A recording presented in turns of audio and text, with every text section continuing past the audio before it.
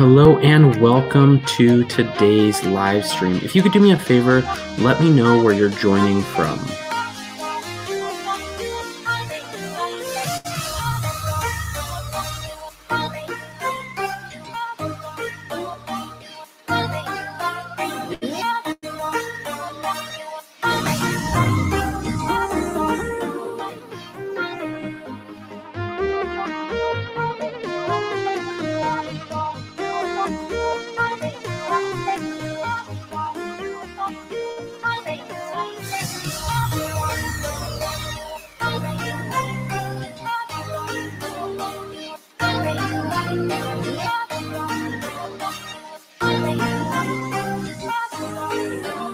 Do me a favor while we are waiting. Let me know that you can hear me, that you're having a great day. Let me know where you are joining us from.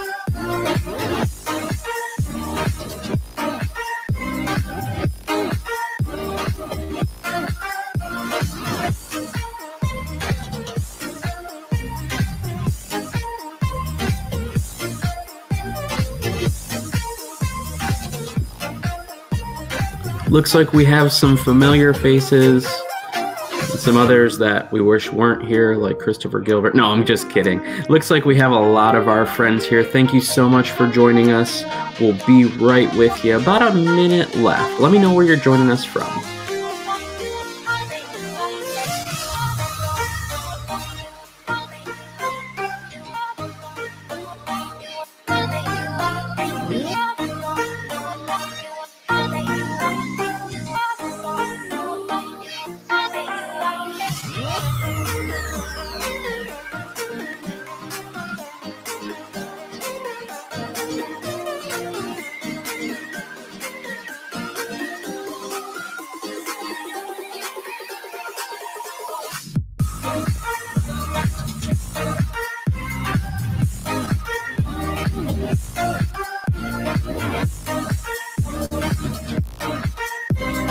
Thank you.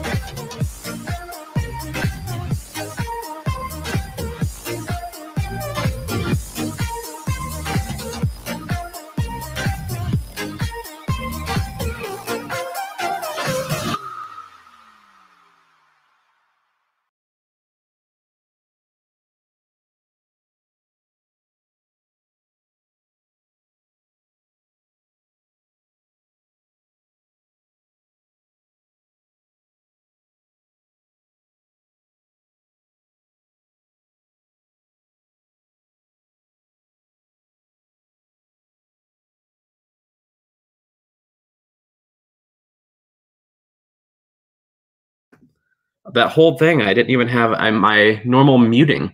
So, and you you didn't even know I was talking because I was wearing a mask. So, I just wanted to do a quick call out on the masks staying on point staying on brand, if you will. Um, these are from my sister made these for us. All of our employees got these uh, so we can stay on brand. Uh, she has a little store down in Ashland, Ohio uh, called Whoopsie Daisy Boutique, and she's been churning these out for people. So um, when you come and see us at the store, hopefully on the 12th, you'll be able to see us in these awesome masks. So those are pretty awesome. So today we are going to talk about um, what are we going to talk about, Kevin? we are going to be talking about cinematography. And I just did that to wake him up. He was kind of leaning back in his chair and he's like, wait, I'm on? I don't even know. Today, we're going to be talking about cinematography. So let's go ahead and bring in our guest here, Mr. Kevin Best. How are we doing, sir? I'm doing good. I'm hanging in there during these quarantine times, and uh, I'm ready to talk about cinematography. Excellent. I'm excited. So, give us a little bit of background. What what qualifies you to be someone that can talk about cinematography? Who are you? Sure. So, I'm Kevin Best. Um, I went to Bowling Green State University to get a film degree. Um, I wanted to, you know, specify uh, my career going into cinematography.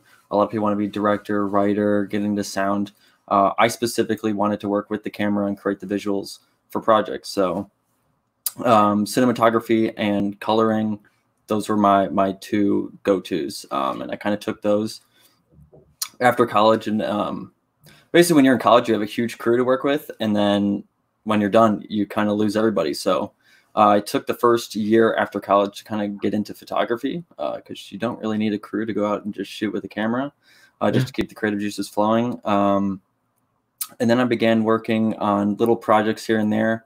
Um, one of my friends, Nick Weiss, who graduated a few years uh, before me, um, started bringing me on to projects, and I was able to kind of, you know, get used to working in professional uh, settings and uh, working with the camera and professional setups. So uh, from there, I took that knowledge um, and I worked with another friend from Bowling Green who lived in LA, uh, and then he moved back to Ohio. So we kind of merged our talents and our Rolodex of clients together and created our own production company uh, called Early Bird. Um, so now we've been uh, starting our, our, own company and working together. It's been going on for about a year now. Um, things have hit a halt right now for productions, but uh, we're currently editing a few projects, um, coloring a few products. Um, so, you know, just keeping busy during these times. I love it. And I notice a little banner over your shoulder there. Yes. So I, I also work for Panasonic. Um, uh, I, they grabbed me to, you know, they, they're very video oriented. So I kind of landed in a perfect company uh, to kind of work with their cameras and kind of showcase all the amazing video features that Panasonic uh, really has. So.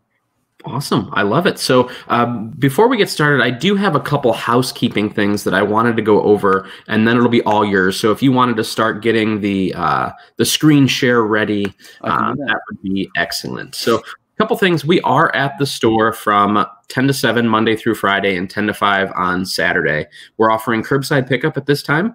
Uh, so, we'll just bring it out to your car, um, whatever you need. We've had a lot of people take advantage of that and then if you want it shipped, just go onto our website, thepixelconnection.com.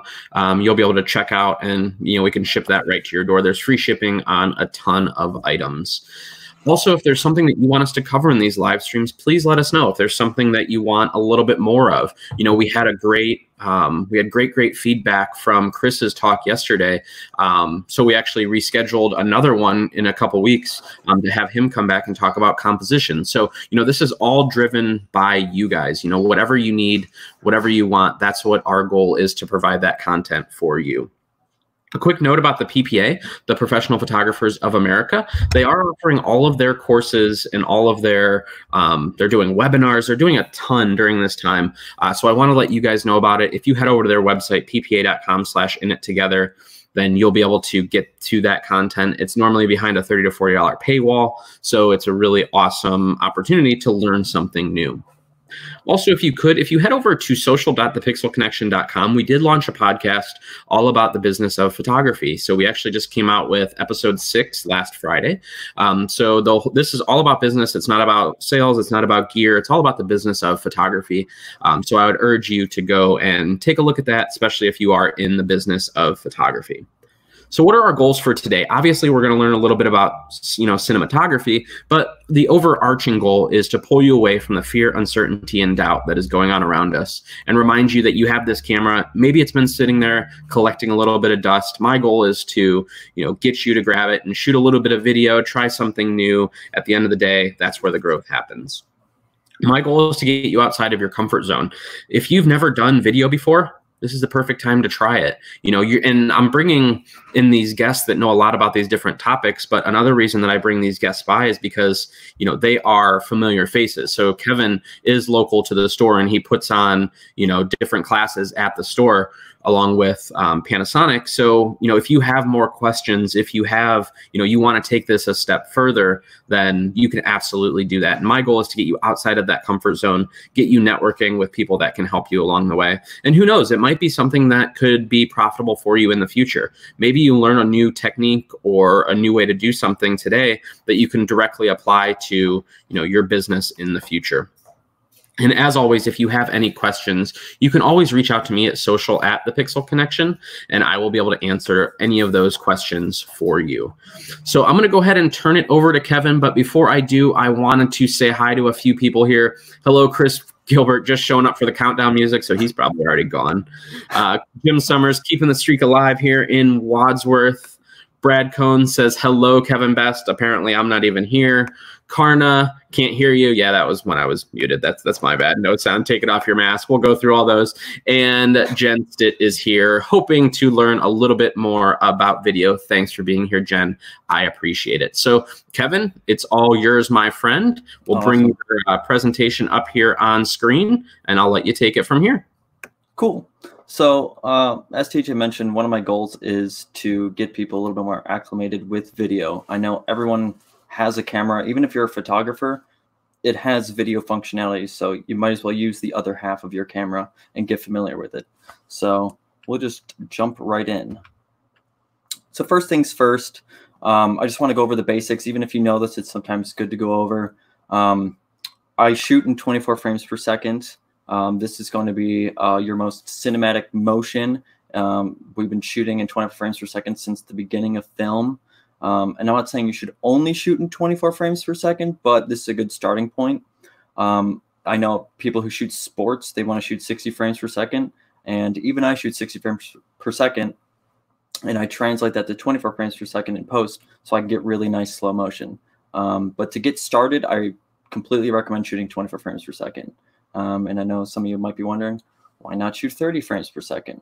Uh, 30 frames per second is basically a, useless at this point. Um, it was used for broadcast for a while, and even they have switched over to shooting 60 frames per second for sports and 24 frames per second uh, for television shows. So you'll notice uh, in TV how everything's become very cinematic, and it's because they've they've switched over to shooting in that 24 frames per second. Um, the next thing to go over is shutter speed. So if you're a photographer, you're very familiar with shutter speed.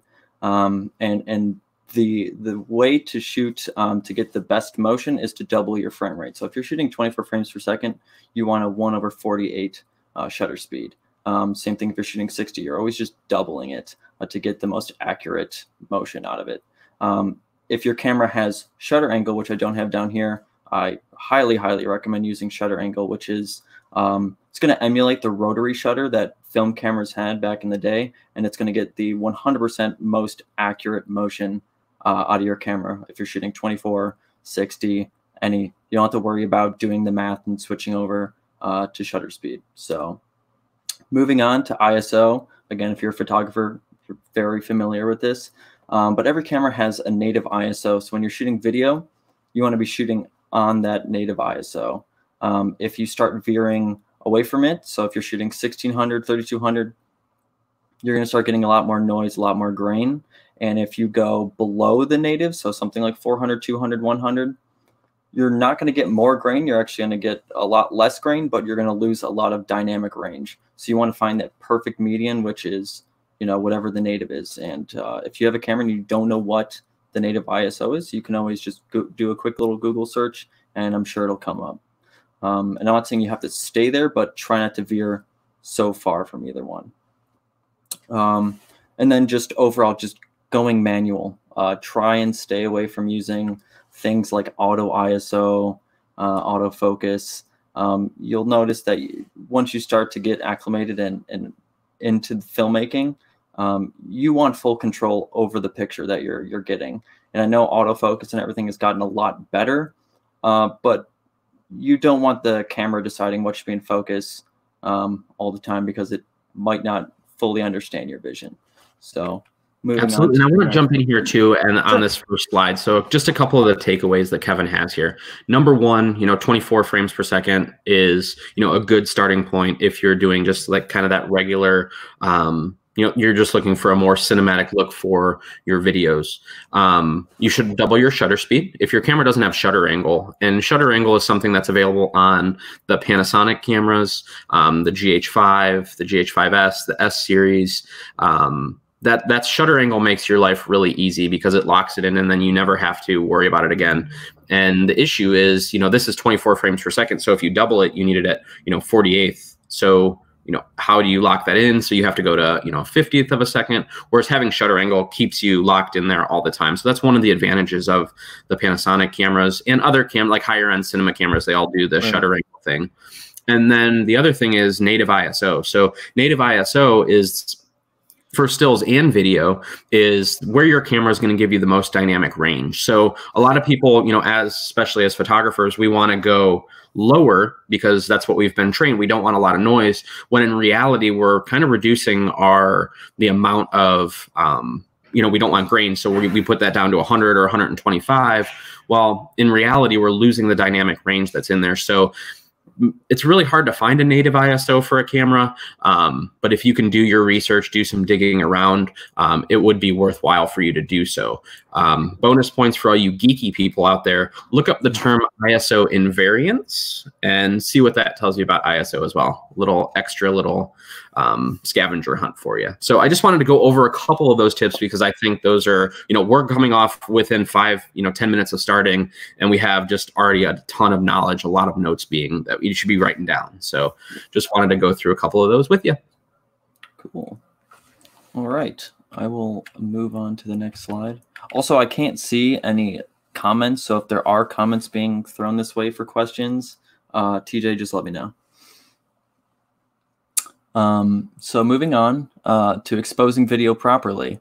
Um, so never change your shutter speed for exposure. I know this might seem strange for people coming from a photography background, but um, as I mentioned, as TJ mentioned, the second you start moving your shutter speed, it's going to start changing uh, the motion of your video.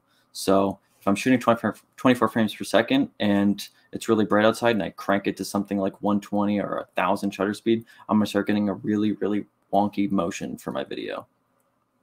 Uh, use your ISO. I know we, we discussed that if you veer from it, um, you're gonna get more noise or if you veer lower, but it's better to move your ISO and then maybe use a denoiser in post than to uh, mess with your shutter speed.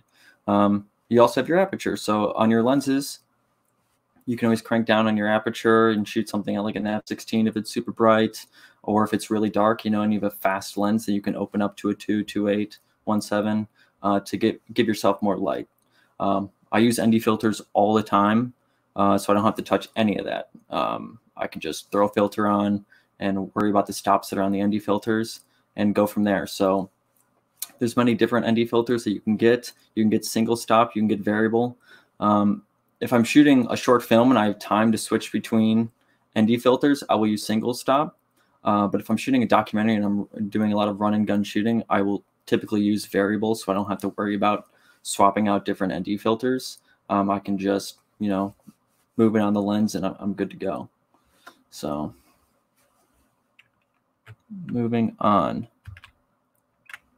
So uh, as most of you probably know, um, the resolution uh, has become incredibly important in cameras. Uh, and even mine's kind of behind on the times now is because we have 6K, we have 8K, uh, but most people are going to be shooting in 4K. So as you can tell, just how large 4K is compared to 1080. I mean, it is four times the size of normal full HD.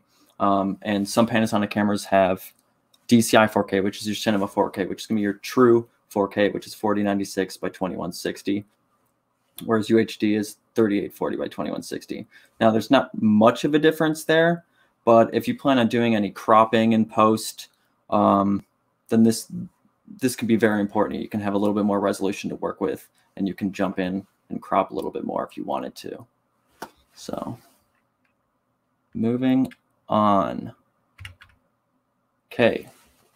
Rules of third and film. Again, if you're coming from a photography background, um, you're kind of familiar with this guideline, uh, but this is just a great way to compose an image. Um, I use it quite often, and you'll notice that when you're watching a professional Hollywood film, they use it quite often as well. For example, I pulled up some stills from War Horse, directed by Steven Spielberg and shot by longtime collaborator Janusz Kaminski.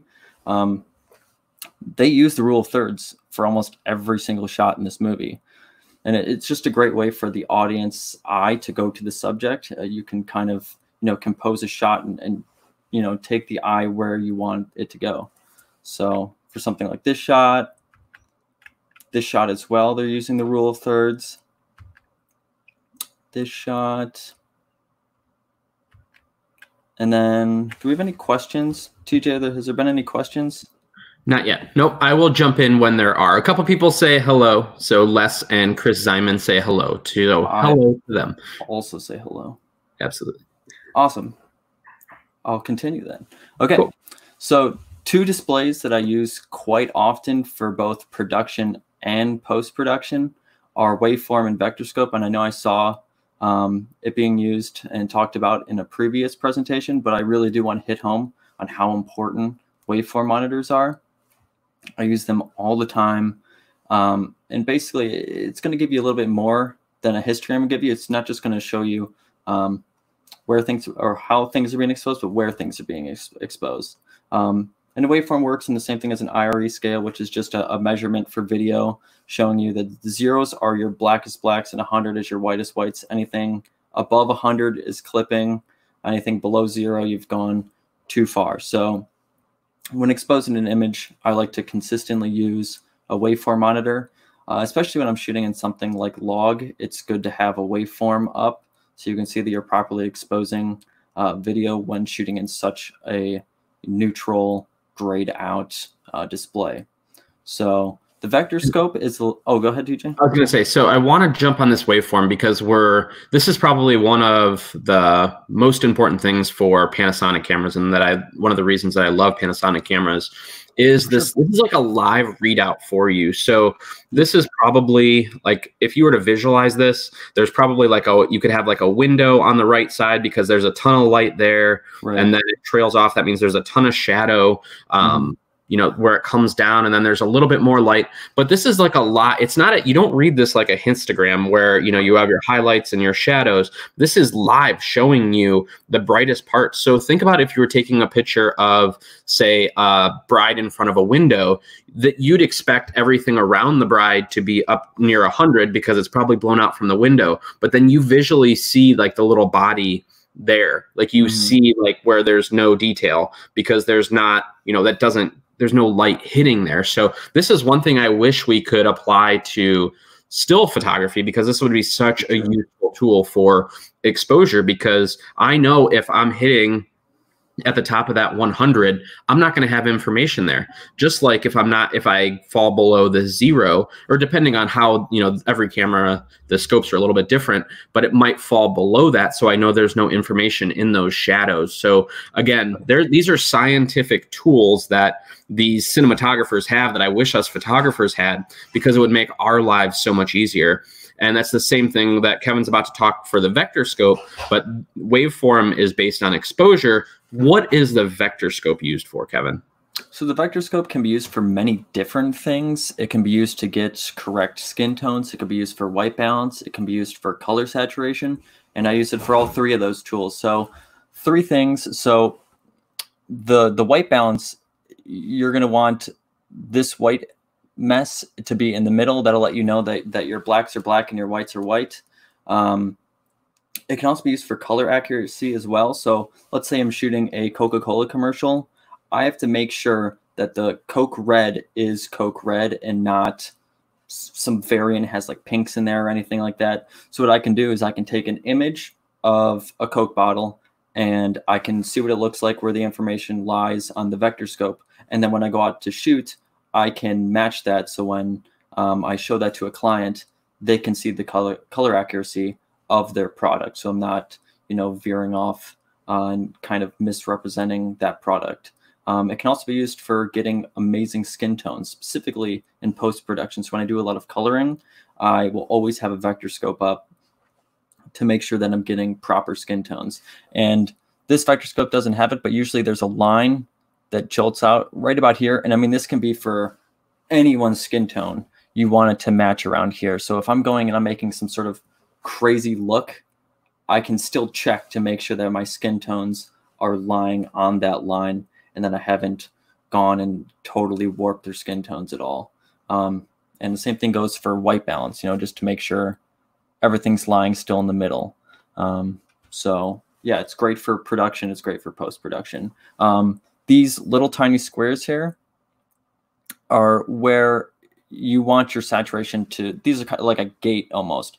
Anything that goes past that, you've you're getting some crazy color compression. You've you've taken the image way too far. So you want to kind of bring down the saturation. So if I'm shooting at a sky and I've cranked my blue or something like that, it might go way past the blue marker. And I know I have to bring down my saturation because I've taken it too far. And if I go and if I upload this on YouTube or something like that, I know it's just going to look like a hot mess. It's going to be super compressed uh, and it's just not going to look great at all. I hope that's a good explanation of vector scope. It is. And also what's nice about these tools is, you know, you see them on cameras like the Panasonic, like the GH5, you know, has these built in. But what's great is once you go into editing, you're going to see these same tools in DaVinci. You're going to see them in Premiere. You're going to see similar scopes. So that way you can kind of align, you know, if you need to push it a little bit more or pull it down, you're going to see these scopes. So uh, if you want to learn a little bit more about these, you know, look up waveform, look up vector scope, because these are kind of the tools that you're you're going to have in your tool belt. Just like as photographers, we have different tools that we use. These are the in camera tools that you're going to be able to use to make sure your exposure is spot on and your vector scope is going to help you with your color and make sure it's spot on. For sure. Okay, moving on. If as long as there's no questions. Nope, no questions so far. Sweet. Okay, so shooting with fast lenses and cinema lenses. Um, one of the quickest ways to get a super cinematic look is to shoot with fast lenses.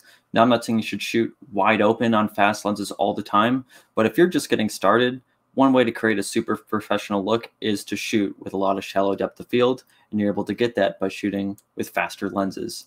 Um, and the difference between photography lenses and cinema lenses is there's really like two big differences, and that's the focus.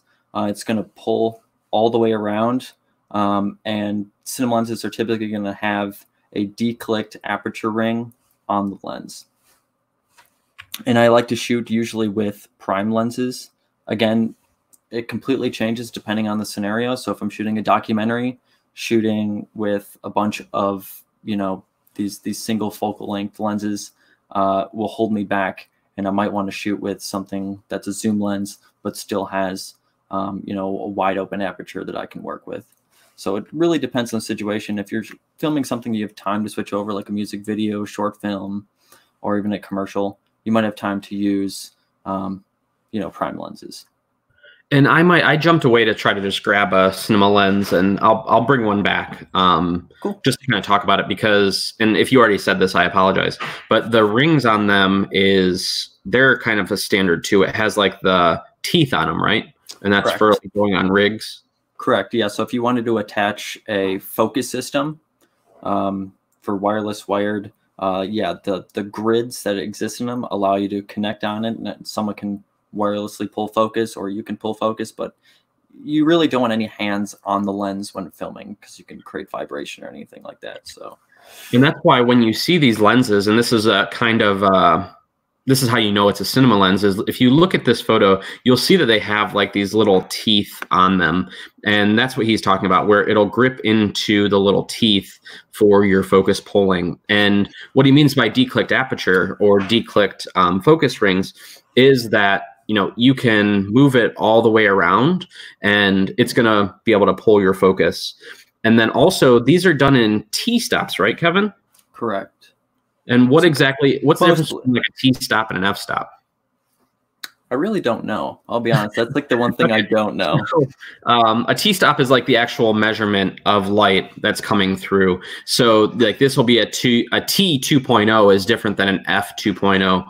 Um, so you have to when you're looking at these different lenses, you have to um, you'll have to do a little bit of research for you know the one is amount of measured light and then the other one is the amount of light that's like allowed in. So it's just a different way to measure um, the light that's coming through the lens but you'll see that these have a t on them instead of an f. Um, also what he was saying about you know focus pulling is these lenses chances are they're not autofocus. Actually i don't know that there's really any cinema lenses that are autofocus um, so these are going to be manual focus lenses. So that's why you need that extra focus puller that goes on the side that allows you to pull what, you know, kind of what you want in focus. Correct. Cool. No questions yet. Awesome. So gear for movement. Uh, obviously we have our tripod and there's gonna be a difference between photo tripods and video tripods and the head's gonna be so much bigger to hold larger rigs. And even this example of a tripod is relatively small compared to the industry standard tripods. If you did a Google search, I mean, just looked up a professional Hollywood tripod setup, they're usually these giant O'Connor tripods to hold like 60 pounds of, you know, huge camera weight and all, all the accoutrement that's thrown on there. Um, obviously, one that's become unbelievably huge is drones. Everyone asks about drones, and I mean, they are completely awesome. Um, shooting a lot of commercials, it's one of like the first things that clients ask is like, "Do you have a drone? Can we get drone shots?" Everyone has drone shots, and the other heavyweight that's become uh, constantly used, uh, even all the way up to professional shoots, are these gimbal stabilizers. I know Ronin has one, um, Zhiyun Crane has one, and there's many other companies that make them. Um, we have the slider that's even I still use. They're great for like interview setups, and sometimes you get some that are motorized, so you can just like you know calculate where you want them to move and how fast, and just let them do their thing. Um, but they've kind of even been taken over by the gimbals, just because you can get these really nice dolly movements out of the gimbal. You can do nice pans.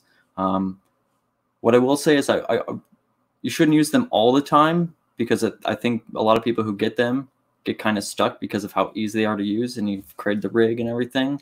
Uh, but they should only be used for very specific moments, like if you're tracking a subject or you need to emulate a dolly movement, um, then I would say to use them. But uh, yeah, I think people get uh, stuck using one specific piece of gear Absolutely, and I, I, almost think it's like a recipe. Like if you put too much salt in, like it's going to ruin the recipe. Correct. And I'm guilty of that. Like the one wedding film that I did, it was like all slider. Like I, I, mean, I slid it in. Like they were up at the altar, so I did a slide in shot. When they walked out, I did everything was like just sliding this back and forth movement. I'm like, right. I'm using this a little too much. I uh, need to just like salt, like a little bit of salt, a little, you know, give you know, you want movement in the film to keep it interesting, but not the same thing over and over again. Right. Yeah. One thing they taught us in film school is that movement should have purpose. Uh, even, you know, when you're focusing on something, if you want to go out of focus into focus something, are, are you revealing something or are you just trying to do a cool movement or, or you know, focus? It, sometimes it's not great to be flashy. Sometimes it is great to be flashy, but always try and find purpose in the movement that you're trying to create. That's a, a, huge tip that I have to give to you guys. Um, like if you're going to do a pan shot, you have a tripod. Do it on the tripod. It's, you're not going to get the same um, smooth pan as you would out of a gimbal. It's just not going to happen. Love it. Cool. Moving on. So planning ahead. So now we have all the recipes, you know, all the ingredients. We're, we're ready to go, but we need to plan ahead. So for pre-production, so the first thing I do when I'm brought onto a pro- project, um, if brought on early enough, sometimes they have another person do this, uh, is location scouting. So for shooting a short film, music video, I like to go around um, and try and find these really awesome locations to shoot in. Um, one thing I've learned from shooting a ton of different films and music videos and commercials is that a location can save your life. It just makes your job so much easier. So, you know, if I'm going to Montana to shoot some mountains, it's pretty much impossible to make a mountain look bad unless you really try hard enough.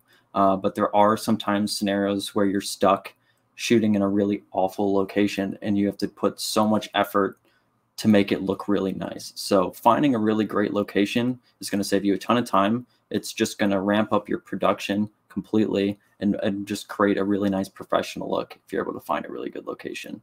Um, I know there are some places online where people upload, you know, like this was a really cool location I was at. Like Reddit has some really great ones. I think you can even just search like great photography, great video locations in my area. Um, or just talk to people and, and see see if they've been to really cool places. Uh, if you're part of a photo community or a video community, more than likely they have a really nice location. Uh, some people are willing to give out where they are, some people aren't, but uh, it's always good to look out for them. Uh, moving on to uh, the look.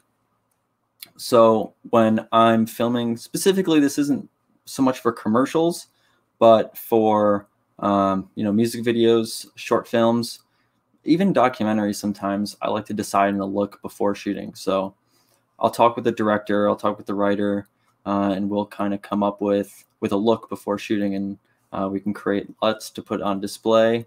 Um, this kind of will help with even the previous location scouting to find the right look. Uh, it's all about working with, uh, you know, the director and whoever on on figuring out exactly what you want it to look like, so you're not scrambling to figure it out during production or in post. Um, and one way to do that is through storyboards. So I I can't draw at all, but even creating little stick figures to kind of give everyone a visual representation of what I'm doing is a lot better than having nothing.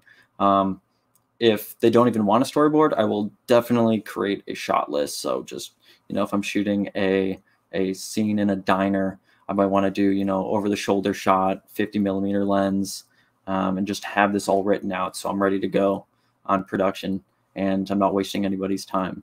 Um, finding inspiration goes uh, hand in hand with deciding on the look before shooting. Um, and one place I go to all the time is FilmGrab.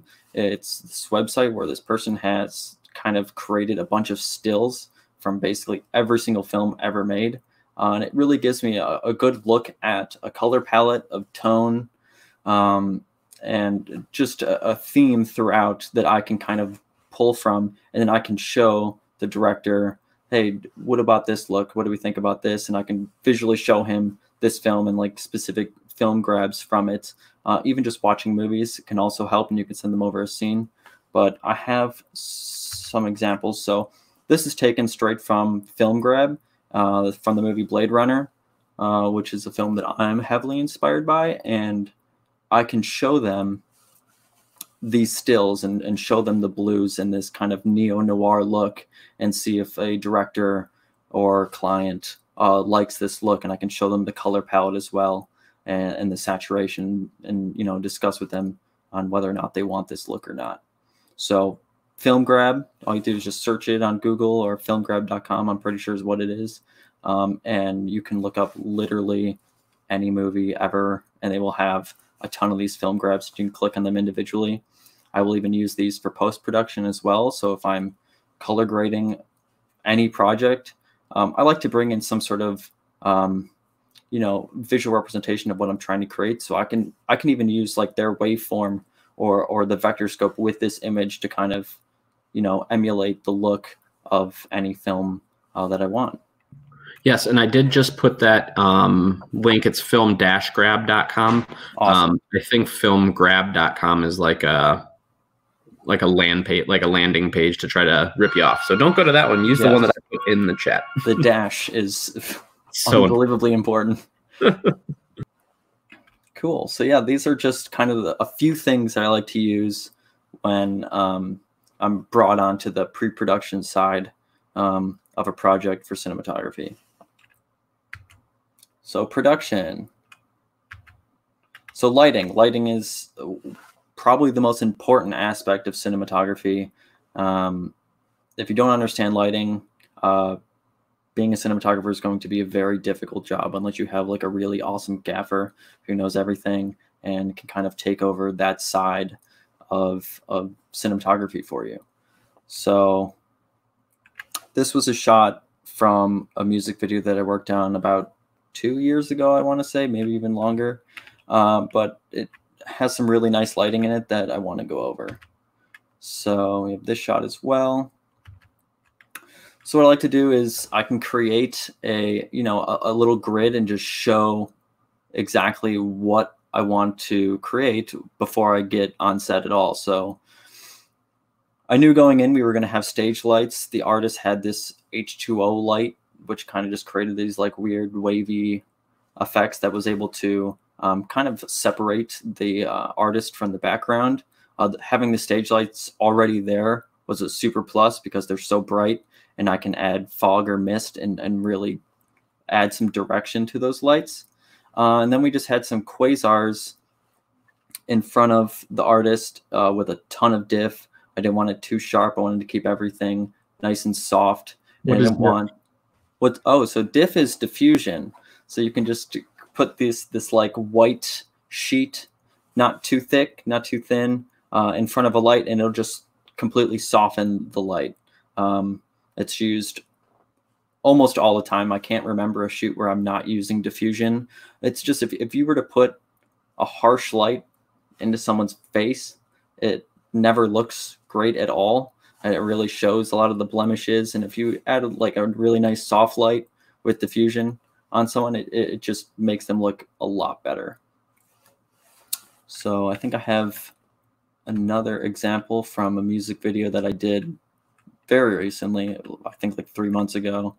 And this was this look was created with only a single light. So we had a light from above with a 1K tungsten with diffusion under it. And then we just had a white bounce board underneath the subject just to kind of bounce light back up. And then we didn't really want to add any more lights because we wanted to create this complete black void. So we just really wanted to light the subject and let everything else go dark. So we're able to create this really nice um, isolated void look and so if you if you have one light and you can go to somewhere like Walmart or anything and just get like a piece of art board that can bounce light, you're kind of good to go. And this was shot on the S1H with a 85 millimeter. These really awesome vintage uh, Pentax Super Takumar lenses that we had cine modded. So we had them declicked and we had these grids put on so we can pull focus. And they're really awesome. They do create this really cool vintage look. So you don't need a lot of lights uh, to create a really awesome look. Um, the biggest tip, and you'll notice this now for like any movie you ever see, is that commercials, music videos, anything is usually shot on shadow side. I would say like 99.9% of the time, you'll notice that the camera is on the shadow side. And what this is going to do is it's going to create this really nice dynamic look in the face. If you're shooting the other side, it kind of takes it away and creates this like one dimensional look where this is just going to have like it, it, just immediately gives it a more cinematic look and so this is taken from blade runner 2049 i don't know why i keep having blade runner references but this is what we're going to work with for now so i mean you can notice st- straight away that they're using basically the same principles i am with just bigger and more expensive lights but they have you know like something that's like an h2o light in the back just to separate the subject from the background. They they have a top light you can tell from the, the nice soft light that's hitting the top here. And then just a light coming from here as the key. And they're just having negative fill here to just add a little bit of shadow to the camera side. And this is just the, the over shoulder over the shoulder of the, of the same scene even she has the shoulder or the the shadow on her side as well just enough light to create separation from the background and the same thing as well with a top light so basically all you need is three lights um, and you can create pretty much any cinematic look you want. Any questions about that? Nothing so far. Sweet. I will continue on. So post-production, which is editing, color grading, sound, and rendering. Um, this can become, you know, the most time-consuming and complex side of filmmaking. Uh, but I will hopefully give you some tools and tips to kind of get you started at least. So some editing software that we have available, uh, Premiere Pro, Final Cut, DaVinci, uh, and Avid. Uh, so I use Premiere Pro. I'm sure everyone has Creative Cloud by this point. If you don't, it's amazing. I mean, you can get a ton of Adobe products in one subscription-based platform, and you know you just have everything to work with. You can use Final Cut. I know some people use Final Cut. When I was in school, we used Final Cut. Uh, I didn't like it at all, and this was before Final Cut Pro X came out, and then everyone hated it. But there are people who just feel more acclimated and feel more at home using different software.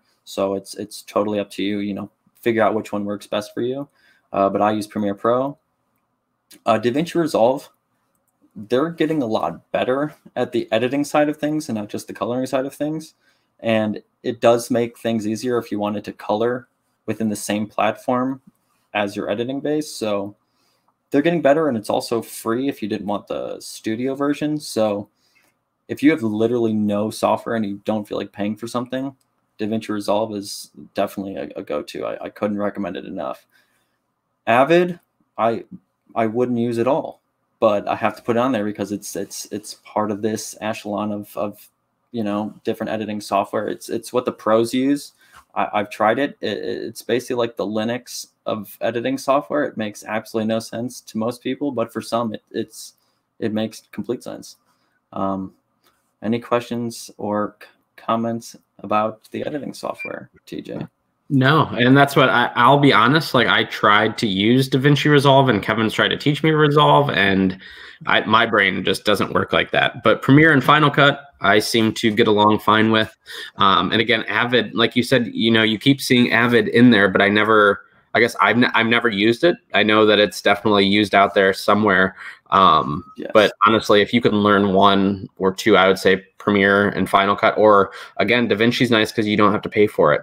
So. Right Yes, it's a great have, option as well. Yeah, if you want to spend zero dollars, if you've never done video and you like, I don't even know if I want to spend the money on editing software for video because I'm just getting started. DaVinci Resolve is a, a, a, decent place to begin, um, and there are ways for you to change the uh, windows to make it look more like Premiere Pro now, which is great. So when if you first download DaVinci Resolve, it'll ask you like uh, which editing software you're most familiar with, and you can click Premiere Pro, and then it'll kind of configure things to make sense for people who are coming from Premiere Pro.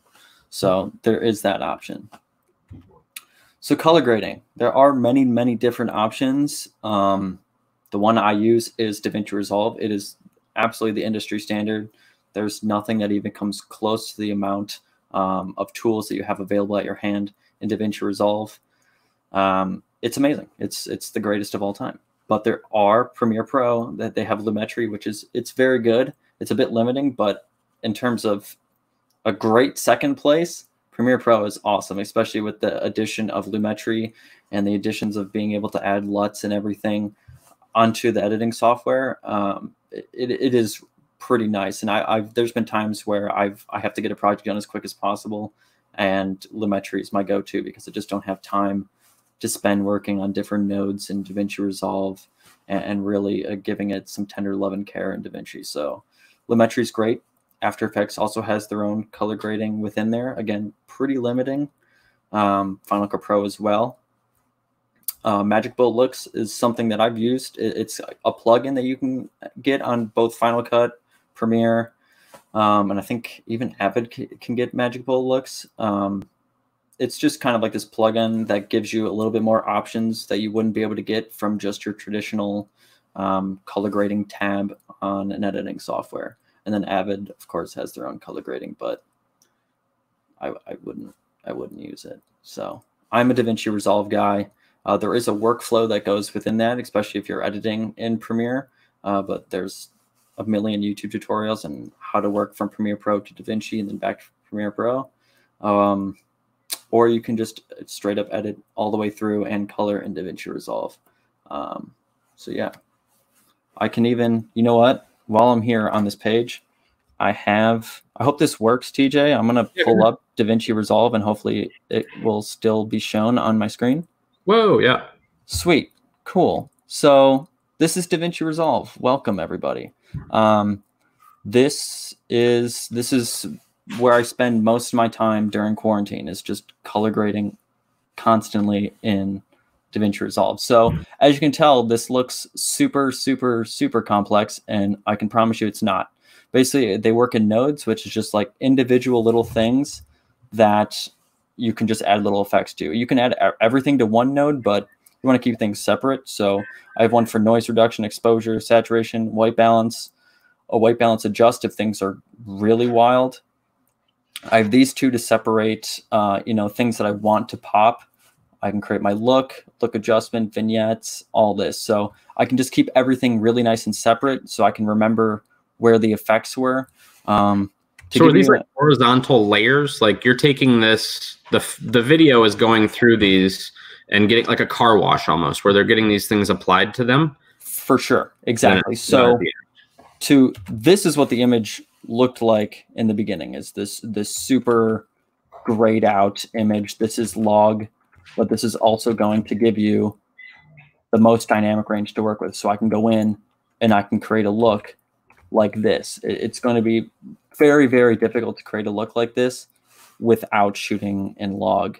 Um, so I can go through and I can. It is just amazing to me that that first image where it looks so blown. I mean, like that, yeah. and then boom, it becomes this total, mean, perfectly color graded and.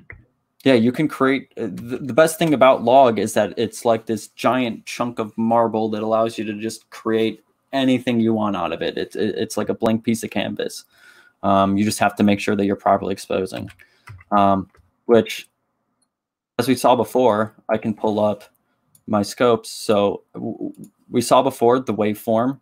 So I'll, I'll turn it to black and white so you can see um, kind of what it looked like before. So I mean, this image is th is this. So you can see that our subject is dipping down in the shadows. Um, I wonder if it shows. So here, this is this is a what log looks like in a waveform. Everything is just pushed to the midtones, which is great because that means I, I can have all this room, my highlights to work, and all this room in the shadows. So nothing is being underexposed or overexposed.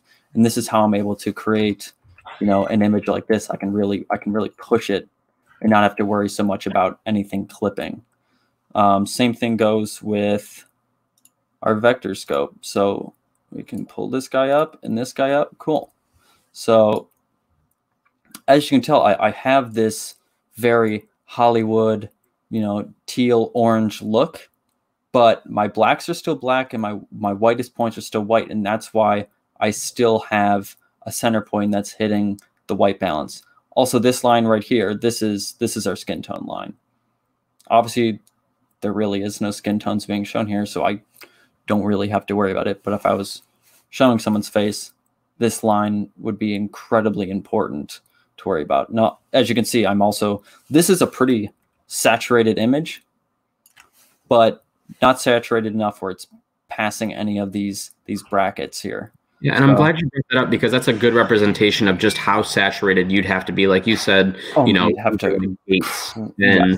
I mean, it would have to be really, really saturated. Yes, I don't even know if DaVinci will allow. Okay, there we go. So this is probably too far, but to be honest, if you had an image that looked like this, uh, hopefully your eyes would let you know that this this is aggressively saturated. This this is blindingly saturated. Yes, it's it's gone too far, so we can we can crank that back down. But yeah, DaVinci Resolve is is it the easiest thing to work with? No, but that's what that's what YouTube's for. Um, and honestly, I was going to say, just seeing you go through this and making these changes, I could see where it would be, you know, pretty useful. But now, my question, while we're talking about color grading, so none of this has to do with any of the editing of the film at this point. I mean, it's just Correct. the rating. So these aren't different scenes that we're seeing on the screen. These no, notes. this is one single clip. So the way you'd want to color grade, let's pretend I had an entire scene of this uh, person in in the woods. I would find one shot, which would be my master shot. I would grade it like this, and then I'd apply this to every single shot. And then that's where I have these look adjustments and global adjustments. And these, this is where I would go and just do a little bit of tweaking so I can get a consistent look throughout every single shot in the project that I'm working on. Um, and this would be the, the, I guess, part two of the post production process. So I wouldn't color grade first and then edit because I could be spending a ton of time editing a shot that doesn't even make it into the film, commercial, music video, etc. What they would do is the editor would create, you know, a, a pretty much close to picture lock edit, and then create a clean timeline, which is they'd get rid of all the effects, any sound design that they've already put in there, and just give me a clean timeline of just the images. And they render out an XML timeline, which again, we're getting really advanced, but I can then take that Premiere Pro timeline, bring it into DaVinci Resolve, edit it, and then do the exact same process of creating another color graded timeline and giving it back to them. So now they have because they're editing, they're editing on log, they're editing with this. And so then I can I can give them, I guess what they could do is they can create like a basic Rec 709, you know, transform, and then they can edit on that so they can at least kind of see what they're working with. Um, and then I can go in and delete the Rec 709, go back to log, color graded, bring it back to them. So I'm glad I had this up so I can show you guys. Yeah, that was super, super helpful. Thank you. Awesome. So, and I want to jump on while he's jumping back to the other screen. Let me know what questions you have for Kevin. Again, this is cinematography basics, but if you have any video questions, this is the yeah. time definitely to ask them. And it doesn't have to necessarily be, you know, just about Panasonic cameras. I mean, just any questions that you have, Literally please anything. Throw them up on the window. Sweet. Okay, so moving on from color grading, we have our sound design. Um, and there's many different things you can use. Um, I, I use Logic Pro X a lot, and this is just for creating maybe sound effects, a, a score, anything. I mean, even I can take, you know, a narration or anything, and, and Logic Pro has so many tools that I can work with to really clean up audio and really amplify really stretch it out, um, and create the most professional sounding um, you know, narration, music, anything in Logic Pro X. And all I have to do is just render it out and send it back over to Premiere Pro. Um, but Premiere Pros, uh, they're getting really good with sound design. Uh, I, I've kind of veered away, at least for smaller projects, and have just been working in Premiere Pro. Um, they have really, really great sound design tools uh, that are created by the, I think it's called Obsolete, which exists within Premiere Pro. They have really great um, equalizers, uh, reverb, anything that you need. And I mean, you can add like 500 different audio tracks if you need to to really create a super complex sound. Um, DaVinci Resolve also has their own sound design. It's not great, but it's it, it exists so you can do everything in post production within DaVinci Resolve. Uh, Avid Pro Tools is actually really great. This is the one thing that I will use from Avid uh, for sound design. There's Waves, which is a plugin that you can throw into Final Cut or, or Premiere, and then you have Audition as well for sound design. Um, and I don't really have anything for sound equipment, so I guess I'll go over that now. Um, if you're wondering if your mic that's built into your camera is good, it's not. It, there's you can buy a five thousand dollar camera or you can buy a five hundred dollar camera, and more than likely the sound on these cameras is not going to suffice for any professional um, you know project you're working on. You need to get something to attach. Um, what i've been using a lot is um, the ntg2 rode mic. Um, and there's Tascams that you can get. Um, i know zoom has the h4n yeah, i think they have h6 out now with like a mixer.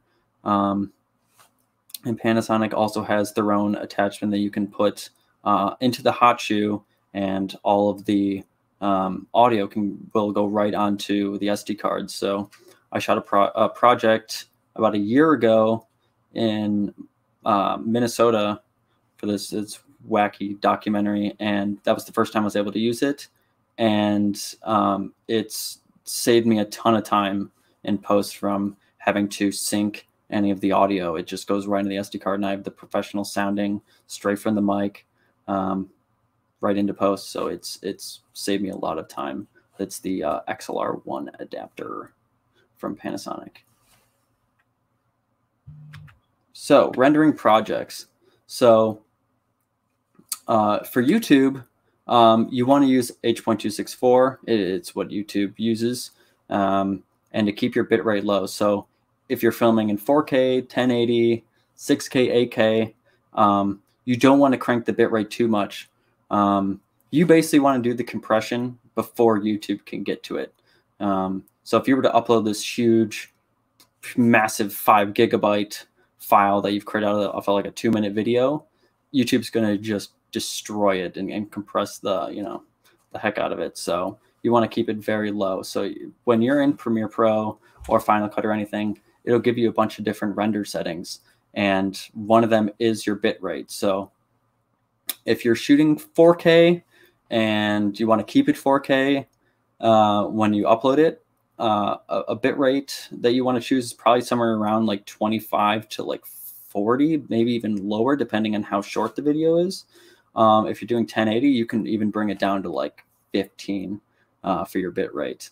Um, and this is usually what I'll give the client to upload uh, for streaming. But the, I also usually give a master, which is the, your non-stream version. So this can be a virtually uncompressed, um, you know, full video uh, of your project. So I typically do ProRes. I match the color of whatever I shot in. So if it's 422, if it's 444, um, I will match that so I'm not getting any other color compression. You know, I got to ask. So, what is ProRes? What is H264? And what does 422 mean? Sure. So, H.264, these are just different codecs, uh, different compressions. Uh, ProRes is is going to be your your best codec for masters, and I mean this is even a way for for recording as well. So I know Panasonic, they can record in H.264 and H.265 um, but you can get like uh, an Atomos that will allow you to record in ProRes. And, and these are just better codecs for better data and give you a higher quality video. Um, but they're going to be larger files to work with as well. So if you're shooting in ProRes, I mean, this is going to take up a, a large amount of space. So you would need something like an external recorder rather than just like an SD card. Um, 422 um, so that's that's going to be uh, has to do with your your color. Uh, and i'll even go over 10 bit as well between 8 bit. So 8 bit is kind of the the standard. I mean everyone's pretty much shooting in 8 bit uh, but panasonic has 10 bit. Uh, i think 8 bit is like your jpeg version of video where 10 bit is kind of like in between um, raw and jpeg and um, it's just going to give you a, a lot more. Uh, uh, what's the word I'm thinking of? Uh, uh oh gosh, uh, color combinations for RGB. So 8-bit has 16 million different color combinations, whereas 10-bit has over a billion. So just jumping up from 8-bit to 10-bit, you're going to get a lot more color and a lot less color compression. So if I'm shooting a sky, a blue sky in 8-bit, it sees it sees blue. It's like that's great. It looks it's blue. But 10 bit sees the variance. So if like uh, the sun's on the right side, it can see the different shades of blue throughout. And when you're uploading that to YouTube, you're going to see significantly less banding, like the warping that usually happens uh, in the sky, because it's not going to have so much compression happening. Uh, hope that answers that question. It does indeed. And a question did come in um, from Chris Zineman uh, that said, "What can you recommend for people starting out for a beginner you a beginner audio uh, setup?" But you answered that perfectly. Um, another thing, the uh, Tech Gear Talk love that you called it aggressively saturated. Uh, Jen, uh, we used Final Cut and Avid in film school, so there mm-hmm. you go. Um, but yeah, so far so good. Um, can you give us like we always hear codec, but like what is it? I mean, I know we're gonna get a go basic here, but what is like a codec? What is the purpose of a codec? Um, from my understanding, and this is even too deep for me because I'm not much of an editor. Mm-hmm. So maybe you have more information on what a codec is. Uh, but for me, it's just uh, a, a, a, compression for recording or um, exporting. Um, I don't know if you have any more information on that. Yeah, so codec would be um, encode decode. So if we were to just take, and some cameras do this where it'll allow RAW. Actually, Panasonic um, just announced an update where it allows for you know RAW capture, but those are, that's going to be huge files. Remember, we're doing 60 frames per second, or sometimes even more. So that's a ton of information coming off of these full frame. I mean, 20 plus megapixel sensors. So you would be chewing up cards. So what a codec does is it'll encode or it'll compress, um, compress, decompress. Mm-hmm. So it'll compress that information into whatever codec, and then your computer knows, hey, this is in this codec. This is what I need to do to basically open that up or use this information um, and then be able to edit it. So it's a way, it's a basically a packaging for that clip because we don't a lot of times we don't even want, you know, full on raw. Now the stuff that Kevin's working on, yeah, like he wants more information for, you know, maybe the documentaries or the shorts or whatever that is that he's working on. But if you're trying to upload a YouTube video a week, you probably don't want to shoot in raw because it's going to take you a week just to manage that. I mean, you're going to have to go to Best Buy to buy another hard drive. I mean, just because the amount of data that, that takes up. So that's where these codecs come in. That's where it's important that you choose what codec you're going to use, the color that you're going to use, um, that information. So that way, you know, in your editor, you have to make sure your editor can handle that, like your editing tool. Um, but basically, it's a way to compress it, just like JPEG is for RAW files. It's similar for your codec. Awesome. And kind of going off of that, um, a lot of people have asked me in previous presentations, uh, is their computer able to handle, uh, you know, shooting in 4K? I mean, most cameras now have 4K. Um, and what I will say is, yes, any computer can handle 4K. Now, when you're editing, um, what I would do is create proxies, which you can look up. Uh, there's a, a, ton of YouTube tutorials on creating proxies, which is basically just going to create this this lower res something that your computer can handle for editing, and you can toggle it on and off. Um, so even if you shoot 4K, you can have a proxy that's in like 480 or 720. So you can have this huge project to work on. And this is kind of like the industry standard way of editing. So, I mean, even the most beefy system, you're probably not going to edit 8K RAW straight from Premiere Pro. Um, it's just not going to be able to handle it. So what they'll do is they'll take all the clips, they'll put it through a proxy and just create a lower res version of it, and then they can edit off of that. But when they're done, they can just toggle off the proxies, and boom, they still have all the 8K footage that they shot within that timeline. So it's it's not so much can my computer handle it, it's just understanding the the process that you'd have to go through to allow your computer to handle the clips that you shot. So there's there's been so many different tools that is made to to handle all the higher resolutions and higher codecs uh, that are available now. So very helpful. Thank you.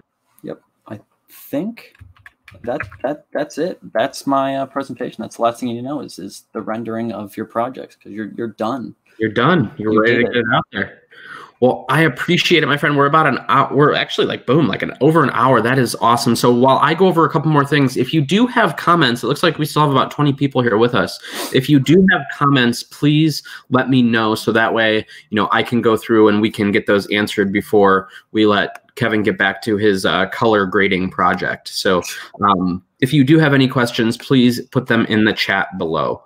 I wanted to let you know something that Kevin will be joining us at, and that is Pixel Photo Fest. That is coming up August 14th through 16th, and it's probably the most it is the most hands-on conference um, for photography, for videography, for cinematography in the area. And we have talent from all over the US, top talent coming in to talk about photo and video. And because you guys are on the live stream, you can actually save a hundred bucks by using code lunch and learn. And that actually gives you half off the conference. And what's great about this conference is, you know, you can sit down with Kevin and be like, hey, you, I know I watched that live stream back during, you know, the Corona thing, and you talked about this and how do I do that? And he can get hands on with you and show you how to do that. That's the type of conference this is. It's based on community. It's based on, you know, helping each other out and just building a stronger um, photo and film community in this area. So definitely use um, that discount code to save you some money.